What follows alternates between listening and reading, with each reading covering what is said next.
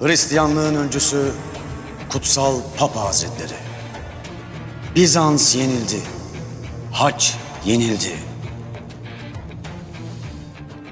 İmparator korkak. Komutanlar ahmak.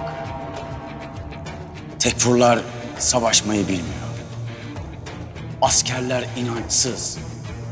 Katoliklerden yardım isteme korkusu bizi Türklerin karşısında yenik duruma düşürdü. Size yalvarıyorum Papa Hazretleri. Düşen hac göğe yeniden yükselsin.